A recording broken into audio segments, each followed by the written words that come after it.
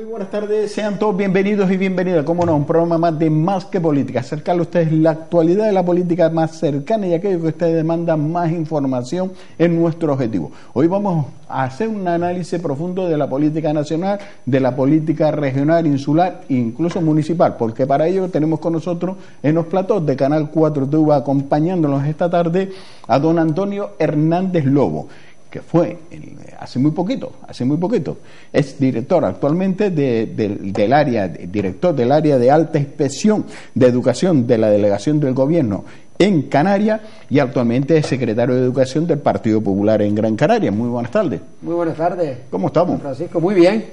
Muy a gusto, con frío ya. Que, ya, que ya parece que ya ha llegado el frío para quedarse y los que tenemos la suerte de dar clases en Valsequillo de Gran Canaria, pues estamos ya con el frío en el cuerpo, pero muy a gusto. Qué barsequillo sin frío, ¿no? ¿Eh? Que es barsequillo sin frío. efectivamente, y sin, el, y sin el agua, tan necesaria para nuestra gente. Pues don Antonio Hernández Lobo, me gustaría comenzar haciendo un análisis y un balance de lo que ha sido la gestión que ha llevado usted a cabo al frente de la dirección del área de alta inspección de educación en la delegación del gobierno aquí en Canarias.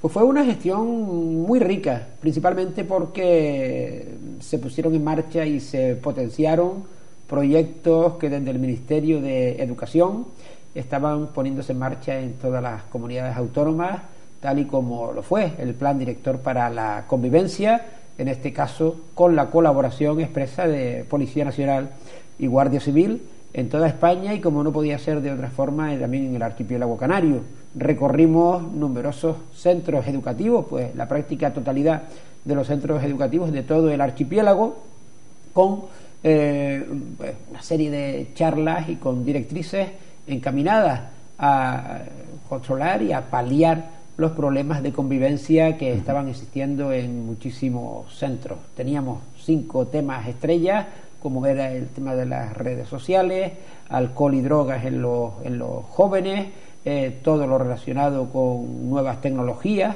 Yo creo que ahí tanto Policía Nacional como Guardia Civil hacen un papel fundamental, principalmente porque acerca a la ciudadanía, en este caso acerca a los jóvenes estudiantes, tanto en educación secundaria obligatoria como en bachillerato, pues todo lo relacionado con el uso de los dispositivos móviles y, por supuesto, el gran problema que estamos teniendo con el uso de las redes sociales y las nuevas relaciones que se establecen entre los propios jóvenes. Y para eso yo creo que, eh, que teníamos que estar. Y teníamos que estar pues, eh, pues desde un punto de vista eh, práctico, pero también jurídico. Y aquí contamos con la colaboración de toda la comunidad educativa, no solo del profesorado de los centros educativos, sino también de padres y madres que participaban y que nos demandaban acciones en este sentido. Yo aprovecho nuevamente, aunque lo he hecho muchísimas veces, felicitar tanto al Cuerpo Nacional de Policía como a la Guardia Civil por el papel importante que realizan en nuestros centros educativos. Es acercar a las fuerzas y cuerpos de seguridad del Estado a los centros y hacerles ver pues, a nuestro alumnado que ahí tenemos a unos aliados, que tenemos unos amigos y es fundamental. Y hoy día, antes mismo estaba, estaba viendo cómo se, cómo se realizó recientemente la presentación de este, de este plan en el, en el municipio de Telde con Policía Nacional y con los inspectores de educación para llevar a todos los centros eh, eh, este, este, este plan. Y eso fue una labor, una labor que emprendimos en la etapa que doña Mercedes Roldós era delegada del gobierno, un plan que está participado por nada más y nada menos que tres ministerios. Cuando hay una implicación de tres ministerios es una acción transversal, desde el Ministerio de Educación, por supuesto, Ministerio de Interior y Ministerio de Políticas Sociales a través de políticas de igualdad, para paliar el gran problema que tenemos en nuestra sociedad, como es el conflicto y la violencia machista, violencia de género. ¿Se quedó muchas cosas en el camino? Sí, hombre, eh, por, supuesto. Eh, yo creo que al propio Ministerio de Educación se le quedó algo muy importante en el camino, y es lograr ese pacto real por la educación en España. Un pacto real que ahora recientemente ha eh, anunciado el gobierno como una reforma de la anterior ley, nosotros no queríamos una reforma, nosotros no queríamos eh, apostar por un enfrentamiento entre sectores, nosotros queríamos llegar al consenso. Y es una pena que no se llegara, que no nos diera tiempo de convencer o de autoconvencernos todas las patas implicadas en la educación, sino que además ahora se nos anuncia unas reformas donde no ha existido el consenso y donde lo único que ha existido es la retórica por parte de este gobierno que es el que está ocupando en estos momentos la Moncloa.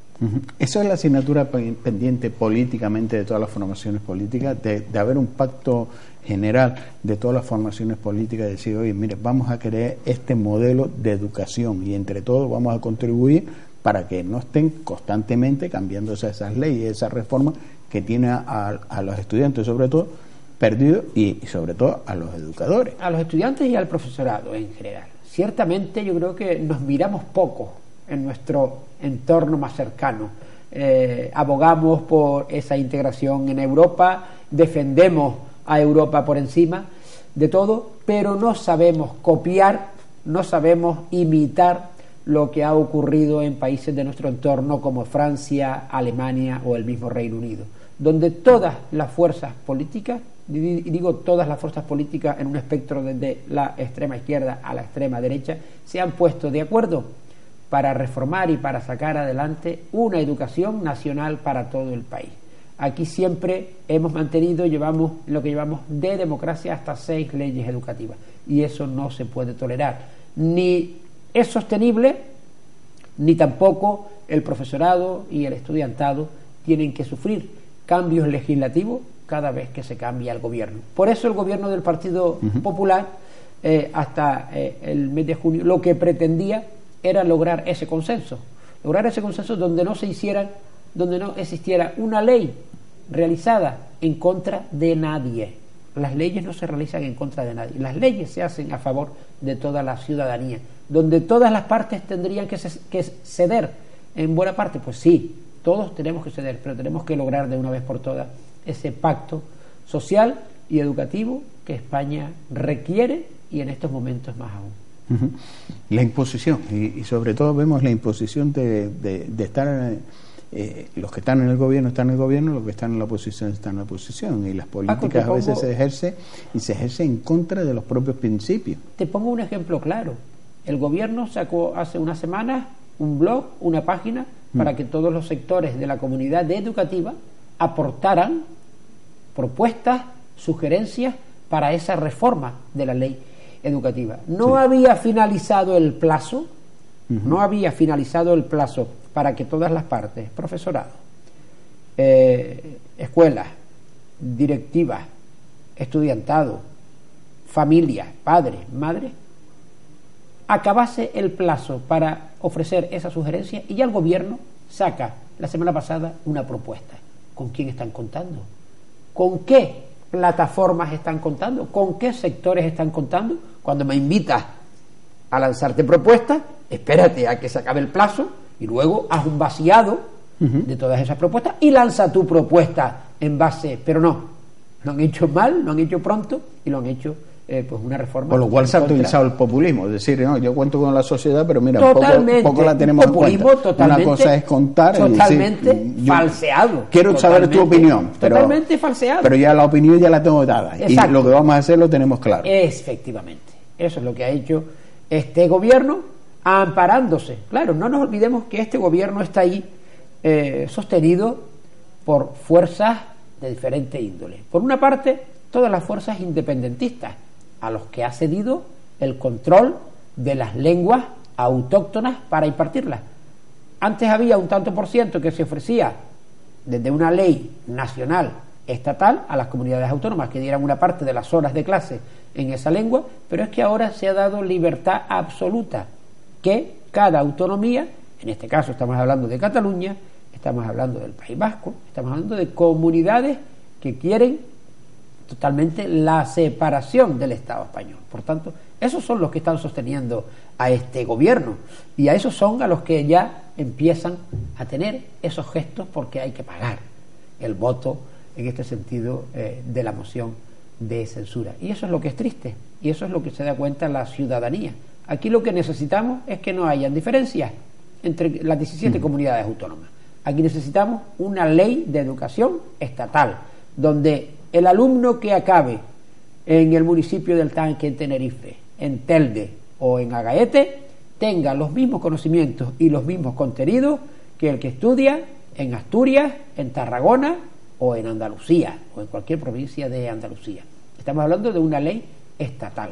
¿Para qué? Para que luego no nos encontremos con esas diferencias que nos encontramos en los eh, informes que existen cada cierto tiempo, llámese informe PISA, llámese informes de eh, eh, encuestas de autoevaluación, donde aparecen diferencias graves. Y eso sí que es preocupante, que en nuestro país existan diferencias entre comunidades autónomas. ¿Por qué? Porque los gobiernos muchas veces, como es este el caso, permite a las autonomías a su propia regulación de la enseñanza. Y no, yo creo que tenemos que tener muy claro que la enseñanza es en toda España, pues como pasa en Francia, como pasa en Alemania, como pasa en el Reino Unido, que no existen esas graves diferencias. Que tenga una parte y una parcela donde cada comunidad autónoma eh, eh, imparta los contenidos de su propia comunidad, cierto. Nosotros en educación secundaria obligatoria tenemos un número de horas donde impartimos geografía e historia de Canarias, pero eso ya está ya contemplado. No hace falta ir a más, no hace falta eh, establecer mayores diferencias entre las comunidades autónomas. Y me temo, me temo que esta reforma lo que va a hacer es ampliar esas desigualdades. O el mismo hecho de cuando un alumno acaba bachillerato, eh, el permitir que con una asignatura eh, eh, se obtenga el título de bachillerato. Nosotros estamos trabajando, yo soy profesor en segundo de bachillerato y sé del esfuerzo que realiza tanto el profesorado como el alumnado. Yo creo que no es época de rebaja, yo creo que tenemos que tener alumnos excelentes. Si tenemos profesores excelentes, también tenemos que tener alumnos, excelentes donde el esfuerzo y el rendimiento cada vez sea mayor. Yo no le puedo aventurar a un alumno que con una asignatura suspensa eh, puede pasar eh, o puede titular en el bachillerato. ¿Por qué? Pues fundamentalmente porque automáticamente a la semana, a los 15 días siguientes, va a tener una prueba de acceso a la universidad. Y esa prueba de acceso tiene una exigencia mayor en la que yo, como profesor de ese alumnado, tengo que garantizar que mi alumnado vaya preparado para un día. No me tengo que conformar para que suspenda una asignatura porque suspender una asignatura supone o puede suponer que pueda suspender incluso dos o tres. Pero esto, esto para qué se hace, pregunto yo, ¿no? Porque sabemos que el propio profesorado eh, valora, eh, lo estudia, y se hablan, pues los profesores mismos hablan, oye, el, alumno tal, pues va más fuerte en matemáticas, más fuerte en lenguaje o en historia, y, y en un momento dado, oye, aquí se le dan más unas materias que otras. Eh, hasta ahí podemos llegar. Y si llega a un 4,95, por esos 5 no se va a quedar atrás. Porque se sabe cómo se ha forzado o no se ha forzado, lo ha preparado o no se ha preparado. Pero, sabemos Pero es que ahora, si usted me dice a mí, eh, mira Paco, eh, en este curso que vas a hacer tiene 10 asignaturas y una la puedes suspender, porque vas a pasar. Ya está. Y yo digo, pues bueno, pues ¿cuál es la que me tomo de holiday? Tú no puedes establecer por ley el hecho de que un alumno con una asignatura suspensa titule. Otra cosa es el sentido común de los equipos docentes, que vemos el esfuerzo y que vemos el rendimiento alcanzado por el alumno desde septiembre hasta mayo. Eso es otra cosa. Pero yo por ley no puedo ponerlo. Eso, todo esto me está recordando a las políticas que han llevado al mayor fracaso escolar en nuestra historia, que son las políticas educativas del Partido Socialista en su historia ya pasó ya con Felipe González, pasó con Rodríguez Zapatero y parece que eh, se quiere superar este presidente del gobierno cuando además cuando además tiene eh, un periodo muy limitado para desarrollar una ley. A mí sí que me apena muchísimo, principalmente eso, que no se llegue a un consenso con todas las patas que forman las comunidades educativas en nuestro país. Y para eso hay que contar con todo, Paco. No, no, no hay que desdeñar a nadie. Yo no puedo empezar a hacer una reforma luchando o bien contra la religión o bien contra las, eh, las escuelas concertadas. No, porque ya desde, eh, desde que empezamos así, empezamos con enfrentamientos. Yo creo que este país ahora mismo lo menos que necesita Ahora, dentro de poco vamos a celebrar el 40 aniversario de nuestra Constitución, de nuestra Carta Magna, y lo que menos necesitamos es esa discordia. Tenemos que seguir apelando a la concordia de los padres de la Constitución. Y ahí también están las leyes educativas. Pues como lo ha existido con otras leyes, con la ley antiterrorista, con eh, las leyes de justicia. Hemos visto mm. recientemente, ayer, antes de ayer, cómo ha habido un acuerdo entre los dos grandes partidos para reestructurar el Consejo General del Poder Judicial. Por tanto, es posible, ¿verdad? Es posible llegar a acuerdos. Es posible llegar a acuerdos en violencia de género. Es posible llegar a acuerdos en materia antiterrorista, en materia de justicia. ¿Por qué no es posible llegar a acuerdos en materia de educación cuando estamos garantizando el futuro de nuestros niños y, de, nuestros jóvenes? ¿Por qué no podemos hacer ese, ese esfuerzo? Porque parece que a la izquierda en este país le interesa más enfrentar que no eh, acordar y consensuar. O da la imagen de un gobierno chachi. Sí, pero ese gobierno chachi trae consecuencias eh, muy graves. Yo puedo ser el hombre más chachi del mundo, el profesor más chachi del, del mundo, cogiendo y aprobando a todos mis alumnos porque soy un profesor chachi, porque quiero quedar bien con esos alumnos y con la familia. Pero les estoy haciendo un flaco favor, les estoy haciendo muchísimo daño porque estos alumnos el año que viene se incorporan a la universidad y ahí se ve y ahí sí que se van a acordar de lo que de lo chachi que era el profesor de matemáticas, el de física y química, el de ciencias naturales, el de historia, el de lengua, el de inglés. No. Haríamos, eh, ahí, ahí sí que cometeríamos un fraude de ley a todas, a todas luces. ¿Por ¿Dónde está nuestro código deontológico como docentes, como profesores? Tenemos que exigirle a nuestros alumnos lo máximo tenemos que prepararlo, tenemos que formarlo en todas las áreas. La educación y el bachillerato, en este caso, tienen unos objetivos claros que hay que, que, hay que alcanzar. Yo no puedo alcanzar todos esos objetivos poniendo eh, en la ley que pueda suspender una asignatura. ¿A dónde hemos llegado? ¿A dónde vamos a llegar? Resulta que le quiero quitar, por las razones que sea, el peso de la nota a la asignatura de, de religión en primero de bachillerato, pero en cambio permito que suspenda matemáticas, o que suspenda lengua española, o que suspenda inglés, o que suspenda física y química, que es un alumno que va a ir el año que viene a hacer una ingeniería y que va a ir con esa asignatura suspenda creo que eh, eh, estaríamos cometiendo. Va a haber un retroceso en esta juventud de, la que hemos presumido de la juventud mejor preparada que hemos exportado. Yo espero, vuelvo y repito, que este gobierno tenga los días contados y que cuando se forme un gobierno real en España que piense realmente en la gente, no en los puestos, no en las poltronas, no en los viajes en avión, sino que piense realmente en la ciudadanía y en el futuro de esta ciudadanía pues realmente lleguemos a ese acuerdo y a ese consenso. Pero para tener a, los mejores alumnos. España tiene que presumir de sus mejores alumnos. Sus mejores alumnos en secundaria, en bachillerato y por supuesto en la universidad. Yo apuesto por eso, Paco, y sé que muchísima gente más también. Yo confío muchísimo en nuestro alumnado. Lo que no podemos hacer es retroceder en ese esfuerzo que le estamos haciendo que le estamos haciendo llegar, porque eh, eh, ahí la excelencia también tiene, un, tiene unos principios por los que tenemos que abogar. Digo, del gobierno Chachi porque hemos visto la, última con el tema de hipotecario, en el cual el Consejo Judicial se, reúne y deciden pues que eh, los gastos notariales lo pague el cliente, podemos decir el ciudadano a pie, los bancos después de varias sentencias que ha habido, pues los bancos ahora no, y acto seguido de la, de la decisión que toma el Poder Judicial, pues acto seguido saca sale el chachi y dice, pues por decreto, por decreto sacamos nosotros una ley, la, la, ley que en su momento aprobó Felipe González. Exacto, vamos a ver, eh, yo creo que eh, este gobierno... sino la de ponerse impuestos. El gobierno, claro, el gobierno de la improvisación, porque está demostrando día tras día que es el gobierno de la improvisación, que es un gobierno cogido con pinzas. Eh, ¿Y con qué pinzas?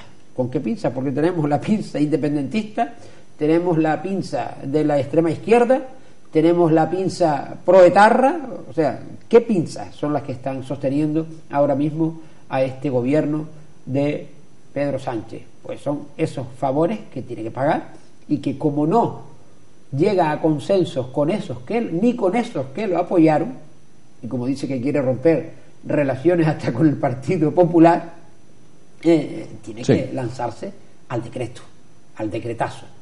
Y las cosas se hacen por consenso. Usted tiene que consultar a las fuerzas políticas con amplia representación. No nos olvidemos que en el Poder Legislativo, en la Asamblea, tanto en el Congreso de los Diputados como en el Senado, hay una fuerza mayoritaria, que es la elegida por los españoles y que es el Partido Popular, y que tiene que contar con esa fuerza política, con la que nada más y nada menos dice que quiere romper relaciones. Claro, si me hago amigo de los extremistas, pues poco voy a alcanzar. ¿no? Y sí que realmente, pues ahora con ese decreto se alivia eh, los bolsillos de los que soliciten una hipoteca, era algo necesario y era algo importante, pero las cosas se hacen de otra forma.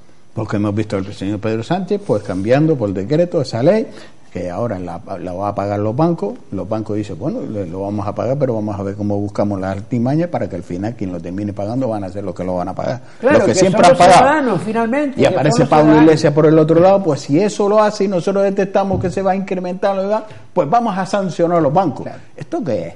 El, que, actúa, el, país de los teletabis. exactamente, tú lo has definido de la mejor forma, no he sido yo. El país de los teletabis, ese es el gobierno que está sentado ahora mismo en la Moncloa, con un presidente que eh, vive del postureo y con un vicepresidente inspectore, como puede ser Pablo Iglesias, que llega incluso a pactar con los independentistas y con los golpistas en la cárcel. Va, visita a los golpistas en la cárcel para eh, consensuar unos presupuestos que ha lanzado ahora mismo el gobierno. Eso sí que es preocupante que estemos en manos de este gobierno. Yo creo que ya lo estamos viendo en la propia ciudadanía. La ciudadanía quiere elecciones ya. la, la ciudadanía, como lo, como lo prometió el mismo presidente del gobierno cuando accedió vía moción de censura a el gobierno del Estado. Pero es que tenemos la sensación de que ni no quiere eh, convocar elecciones, sino que cuanto más tarde mejor. Y eso, al final, los perjudicados es la ciudadanía en este país. Oye, mire, hay, un caso y, es que yo no entiendo, ¿no? No lo entiendo. Hemos visto cómo se ha montado el, tema de sacar o no sacar, o lo trasladamos, no lo trasladamos, ahora lo saca, que se lo lleven, cuando se lo lleva, a dónde se lo tiene que llevar, los restos de, Francisco Franco, por un lado, el cambiar los nombres de las calles, el cambiar todo, todo, todo lo que hay que cambiar. Nos cargamos de un plumazo la historia. La historia que no se puede repetir y no se debe repetir nunca más. Pero para que sabemos lo que no tenemos que hacer, tenemos que tener una muestra claramente. Y yo creo que sí, pues bien, hay que quitar todo eso y, borrarlo, pero tenerlo en presente y decirle a, dónde nos hemos equivocado para no volvernos a equivocar. Pero la más reciente está en el terrorismo la masacre que ha hecho tanto un grupo terrorista como era ETA, como también un grupo terrorista que no hemos olvidado que se llama el Grapo. Efectivamente. Pero hemos visto como en este caso eh, se ha llevado a cabo en el Centro Social Buñuel en Zaragoza una, charla por Zaragoza en común en el cual pues los ponentes entre otros estaba la señora Carmen López Anguita miembro de, del Grapo en el cual fue condenada por 280 años de cárcel por el atentado que hizo en Madrid en una cafetería donde fallecieron nueve personas. Entonces díganme a mí, díganme a mí, Paco. Borramos una cosa y eso no lo borramos. Esos familiares de esas nuevas personas, ¿qué estarán pensando? ¿Qué estarán pensando? Igual que de esa forma, una asignatura o unas charlas que se están dando en los colegios del País Vasco a cargo de una persona condenada por, e por ser miembro de ETA y ahora está dándonos lecciones de paz. A mí, yo, con todo esto de, de la exhumación, y quiero ser bastante respetuoso, o no, o no, porque no me apetece tampoco ser a lo mejor respetuoso con la figura de el dictador, por todo lo que significó la dictadura en este país. Lo que una cosa está clara es que ha sido este gobierno y el populismo el que más propaganda le ha dado al dictador y al Valle de los Caídos. Vamos a ver, hay unos estudios muy claros donde antes de toda esta movida por el dictador, al valle de, al valle de, al valle de los, de los caídos, al monumento, al mausoleo. Principalmente iban, iban turistas por aquello de, de ver. Pero yo lo que estoy asombrado es la cantidad de personas que últimamente se están acercando al Valle de los Caídos. Eso antes ni lo veíamos, ni lo escuchábamos. Pero es que lo más triste de todo es que va a ser eh, por obra y gracia de Pedro Sánchez y de Pablo Iglesias y de todos los extremismos que podamos tener incluso enterrado a el dictador en la Catedral de la Almudena, en la Plaza de Oriente en Madrid. O sea, no solo se le exhuma del Valle de los Caídos, está eh, a 60 kilómetros de Madrid, en plena sierra, de Madrid, donde sabíamos que estaba ahí, pero nada más. Yo no sé, probablemente yo, mira que he estado a veces en Madrid, en la vida se me ha ocurrido ir a, ir a, ir a ese sitio, pero bueno, respeto que mucha gente lo haga. Pero es que ahora lo que hemos hecho es una propaganda de ver todos los días, día sí y día no, a las televisiones públicas y privadas, al pie del Valle de los Caídos. ¿A dónde, hemos, ¿A dónde hemos llegado con todas las necesidades y con todos los problemas que tiene este país? Estar distrayendo al resto con la exhumación, además en un suelo que pertenece pues, pues, a una orden religiosa incluso. Es que ni se me ocurre. Yo creo que eh, los lugares muchísimas veces pues están para recordar, para recordar lo que nunca más puede caer en este país, que fue la guerra civil en la que estuvimos inmersos tres años y la posguerra tremenda como fue de la dictadura del fascismo del general Franco. Eso es lo que hay que enseñar y eso es lo que hay que mostrar. Y para eso están, estamos los que impartimos historia de España, por ejemplo, en las escuelas, para mostrarle a nuestro alumnado que situaciones como esas no pueden volver a ocurrir. Pero igual que lo decimos con el general Franco, con Adolf Hitler y con todos los sanguinarios que ha habido a lo largo de la historia de Europa y del resto con Lenin, del mundo. Con Exacto, con Lenin. Y, como ahora mismo denunciamos también los desastres que está realizando, y no es que quiera yo, yo volver en este caso sobre el mismo tema, pero lo que está pasando en Venezuela, lo que está pasando en Corea del Norte, lo que está pasando en muchísimos países. Y eso hay que denunciarlo, y eso hay que enseñarlo. Pero claro, la propaganda que se le ha dado por parte de este gobierno a la historia del general Franco, pues, pues sí que llama, sí que llama poderosamente la atención. Digo que si llega a estar el general Franco en la Almudena, en el en pleno centro de Madrid, al lado del Palacio Real, en la Plaza de Oriente, será gracias a Pedro Sánchez. Bueno, pues ahora dice que no, que tampoco, y tampoco se puede colocar donde alguien pueda ir. Bueno, se colocará donde diga su familia hacer, con todo mi respeto, ¿eh? lo que hagan con la momia, lo que, lo que quiera hacer su familia con ella. Vamos, es que yo, ahí estamos hablando eh, del terreno familiar, porque son por lo visto sus nietos los que están, eh, en, vamos, en este sentido, en el proceso judicial con el gobierno o acordando con el gobierno qué se hace con el cuerpo de Franco. Yo vuelvo y repito, se le ha dado demasiado bombo y platillo cuando en España hay muchísimos problemas que estamos preocupados. Movimientos migratorios, ¿qué está pasando en Lanzarote? Que viene el presidente del gobierno a la isla de Lanzarote ah, y no se reúne ni con el presidente del gobierno de Canarias. Una reunión de partido y no le interesa el aumento de personas que están llegando a nuestras islas y que tenemos que atender y que no estamos poniendo medios. Eso no importa, como dices tú. A eso me refiero y sí que es preocupante eso. Y sí que me preocupa muchísimo. espera, pero bueno, pero, del desempleo. tenemos a la ciudad, a la ciudadanía entretenida con la historia de la momia de Franco, con todo mi respeto. Ni el problema de la vivienda. Nada, eso no interesa. eso no interesa. Pero antes ponías el caso eh, del ayuntamiento de Zaragoza, claro. También la extrema izquierda invitando a un grupo terrorista donde hay muchos muertos en el camino. Sí, dicha charla era para doña Carmen López Anguita y por otro lado también era don Juan Manuel Oliarta. ¿Qué es lo que se persigue con eso? ¿Qué es lo que se persigue? Que nos digan a todos los españoles que están persiguiendo con eso. Yo digo, porque la chasla era, y no sé, porque se presentaba en este caso como representación, y la chasla iba, sobre todo los 40 años, maquillando el fascismo. Se trataba de esa charla. Vamos a ver, no se trata de maquillar el fascismo, estamos hablando de que estamos hablando de un grupo terrorista, como fue el Grapo grupo terrorista como fue el Grapo. Sería una charla interesante que fueran los propios terroristas y explicara el por qué actuaron y, el por qué había que cometer esos actos del terror. Y por qué pues. había que matar a, inocentes que no... Claro, es que, es que finalmente... Que pasaban por la calle, pero como había que poner una bomba y levantar a todos para arriba, pues... Eso no importa, como pasó ETA con Hipercore en Barcelona, como pasó con los grandes atentados eh, que en este caso eran atentados de otro índole, como los de, como los de la estación de tren en Atocha, pero es que, hay que eso hay que perseguirlo de todas, todas. Nosotros no podemos estar eh, favoreciendo y potenciando ese tipo de actuaciones. Invitemos también a Puigdemont a que, a que empiece a dar, a dar, a dar charlas cuando, cuando, lo que cuando lo que ha cometido ha sido eh, un acto tremendo contra el Estado de Derecho.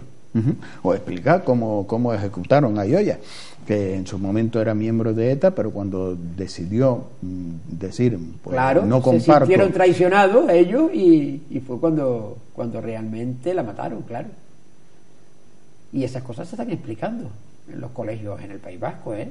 Que tienen a una persona del movimiento terrorista ETA dando charlas por los colegios y por los institutos y eso lo estamos permitiendo y eso se está y eso no se está denunciando y eso no sale en, en los medios de información o no en todos los medios. Pero eso que lo hace explicando el arrepentimiento. No es, explicando lo que para ellos es la concordia. Y para ellos es la concordia todavía pero todavía yo no he escuchado a ningún terrorista de ETA pidiendo perdón. pero por dónde se pasa la concordia cuando usted no comparta lo mismo opinión que yo tengo le pego un tiro en la nuca. Exacto esa ha sido su forma hasta ahora esa ha sido su forma. Pues malo llevamos en este país. Yo creo que eh, la, historia nunca se puede borrar, ni en este país ni en ningún país. Y de los errores tenemos que aprender para nunca más volverlos a cometer. Por eso digo que mejor De un bando y del otro bando, de arriba, de abajo, derecha, izquierda, centro, de cualquier ideología. Que se muestre la historia tal y como es y tal y como se presenta. Yo vuelvo y repito, no hay que volver a pasar por una dictadura como la que vivió este país con el, con el general Franco. No, porque fue una dictadura sanguinaria también. ¿Y dónde? Hay que poner las cosas en su sitio. También hubo, por parte de la facción republicana, muchísimos asesinatos, muchísimos asesinatos de, personas de personas de la Iglesia Católica, que también están ahí y que también, aparte, se intentan tapar. ¿Mm? Que también tenía familiares. Claro, efectivamente. O sea, hubo de un lado y de otro. Hay que. Como toda la guerra. Y yo creo que la transición española y la constitución, eh, vuelvo a recordar el 40 aniversario, era la constitución de la concordia. Pero, Eso sí, era pero la hubo, pero si hubo un consenso donde ahí sí había extremos porque ahí sí había ideología política y extremos políticos. Pues y altura política. Eh, estaba Manuel Fraga con Alianza Popular, que era la derecha, pura derecha. Sí. Teníamos a Santiago Carrillo con la izquierda, la pura izquierda. Teníamos a Miquel Roca, nacionalista, catalán, también como padre de la con el centro, con la OCDE, y Felipe González con el Partido Socialista, con los obreros, con ese movimiento obrero. Porque ahora el Partido Socialista no se sabe ni lo que es. Así de claro. había, altura, había altura política y llegaron a ese consenso de decir, oye, aquí tenemos que salir, todo el mundo nos tenemos que poner de acuerdo, tenemos que la resilla aparcarla y hay que sacar a España adelante. Claro. Pero ya eso ya no se ha vuelto. No. Ahora lo que interesa es los enfrentamientos, no la concordia. Ahora, Paco, hasta se avergüenzan de ser españoles, muchos de ellos. Hoy mismo saca el Partido Popular una reforma de la ley de símbolos yo, vamos a ver, hay unos símbolos que identifican a una nación, a un Estado, como pasa en Alemania, como pasa en Francia, como pasa en los Estados Unidos, como pasa en cualquier país, que es un escudo y una bandera. Pero es que nos escondemos de esa bandera, nos escondemos de ese escudo. Y es el escudo y la bandera que nos representa a todos, no solo dentro de nuestro país, sino fuera. ¿Qué temor? ¿Qué temor hay a, que, eh, a que tengamos nuestros símbolos en todas las administraciones, que hay muchas administraciones en muchos lugares de España que ni se colocan la propia bandera. Yo creo que eh, la ley de símbolos tiene que ser, eh, en, este, en este sentido, tajante. O sea, por quemar un símbolo en Cataluña no pasa nada, por quemar una bandera. No pasa absolutamente nada. Yo creo que hay un respeto a las instituciones y a los símbolos de un país. Pero ¿por qué tengo que quemar yo la bandera? Porque no comparto tus ideas. Pues, ¿Por qué porque- me tienes que imponer una bandera o otra bandera? ¿Por qué no respeta mi bandera? Ya está. Como hay que respetar Ya la está. bandera de todo el mundo. Ya está, ni más ni menos, ni más ni menos, que no hay que ocultarse, que no hay que esconderse. Y si se quiere cambiar, se va usted al Parlamento, se va usted a la Asamblea Legislativa y ahí decide cambiar lo que quiera cambiar, pero con el consenso y con el apoyo de todos los españoles. Aquí no podemos tener nuestra- nuestras propias eh, eh, inquietudes que se conviertan en esos actos eh, que al final son actos vandálicos y actos que perjudican también la moral de muchísima gente que cree en sus símbolos. Y yo. eh, Y hay yo- que compartir, cada uno tiene yo su que no soy, su respeto. Que no soy mucho de, símbol- de símbolos o de, ala- o de alardeo de símbolos, entiendo que son los símbolos oficiales de un país. Y si en el ayuntamiento de Telde, de Aruca, de Santa Cruz de Tenerife o de cualquier otra población tiene que estar identificada con la bandera de España, con la bandera de Europa y con la de la comunidad autónoma, no hay ni más ni menos. Son nuestros símbolos y son los que nos identifican. Ya está, punto pelota. Yo creo que no hay que, que no hay que ir más allá. Lo que pasa es que tenemos un gobierno, vuelvo y repito, rehén, rehén de los que quieren romper España. ¿Quiénes le votaron la moción de censura? Pues si analizamos los que no creen en España, los que no creen en el Estado español, catalanes, vimos lo que pasó hace un año, inventándose aquello de la República. Sabemos lo que pasa en el País Vasco, donde muchos ayuntamientos gobernados por los amigos de ETA, que todavía vemos a Arnaldo Otegui dando charlas por ahí también por numerosos ayuntamientos Señor, el de señor la- Iglesias sé que es un hombre de paz. de la nueva política, como llaman ellos. ¿Sí?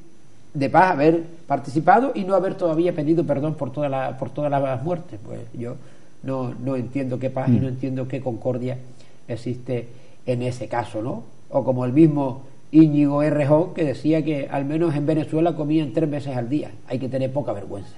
Hay que tener poca vergüenza para entender el problema y los sufrimientos que están viviendo en el país hermano de Venezuela, que para llegar a alcanzar eh, un medicamento o una medicina tienen que irse al país vecino, a Colombia, pasar por los sufrimientos que pasan y yo creo que eh, yo creo que ya está bien. Yo creo que ya nueva política, yo creo que ya se han retratado todos como casos del ayuntamiento de Zaragoza. Son políticos trasnochados, antiguos y que no se ajustan a derecho. No están en el siglo XXI. Y a mí sí que me da muchísima pena. Porque luego tenemos, por una parte, el temor de la ultraizquierda, que son estos, y el temor de la ultraderecha. Eh, En Europa se está preocupado por el avance y por el ascenso de la ultraderecha, que no es ni más ni menos, que no es ni más ni menos que una respuesta a esas políticas. Yo tampoco quiero dar nombres, pero sí que estoy preocupado, como lo dijo también estos días atrás cuando se celebraba el armisticio de la Primera Guerra Mundial, donde los grandes líderes como Macron y como Merkel en Europa planteaban su preocupación por el ascenso de los radicalismos, ¿no? De los extremos. eh, hemos visto recientemente el caso de Brasil mismo, ¿no? Vemos, estamos viendo el caso de Italia, estamos viendo el caso de Grecia, viendo cómo partidos extremos, tanto por la izquierda como por la derecha, están accediendo a el poder. Y eso es lo que no le conviene a ningún país y menos a los que formamos la Unión Europea. Hemos perdido de pasar una democracia a, a- a tener esos extremos. Sí, pero es que el enfrentamiento genera eso. El odio genera eso. El odio, estamos hablando antes. El odio que se puede tener El- el a la bandera. el, del o- país. el odio, digo yo, ¿el odio a qué? Pues en Dígame, este caso- ¿el odio a qué?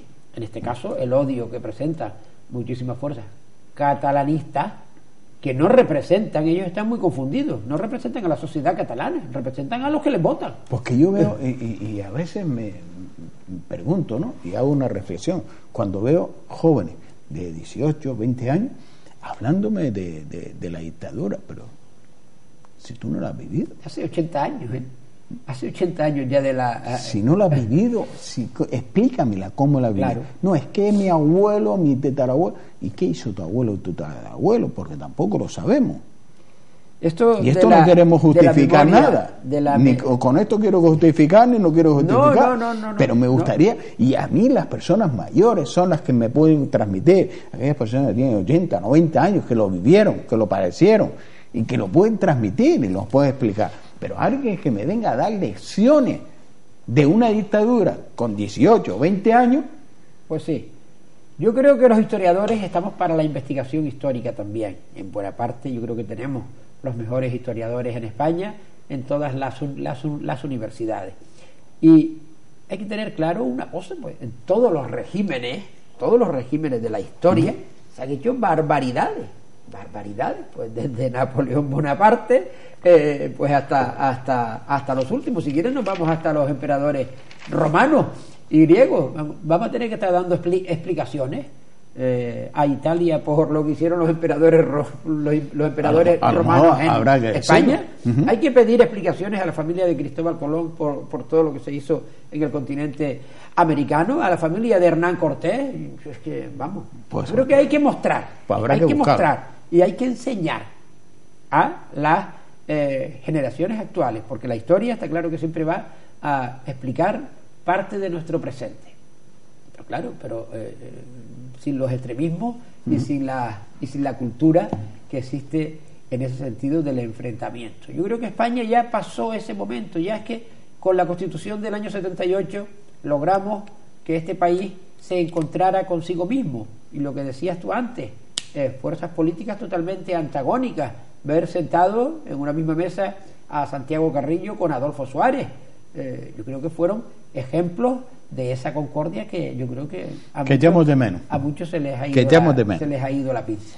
Don Antonio Hernández Lobo, un placer tenerlo en esta casa. Gracias por estar con nosotros, acercarnos y, en este diálogo de la historia. Y a todos los que hemos intentado llevar a cabo. Muchísimas la historia pasa por la actual situación de España. Muy bien. Gracias por estar con nosotros. Gracias a ustedes. Buenas tardes. Pues cerramos esta entrevista con el secretario de Educación del Partido Popular en Gran Canaria, don Antonio Hernández Lobo. Nos vamos a publicidad y a la vuelta volvemos nuevamente con ustedes, compartiendo este tiempo de más que política.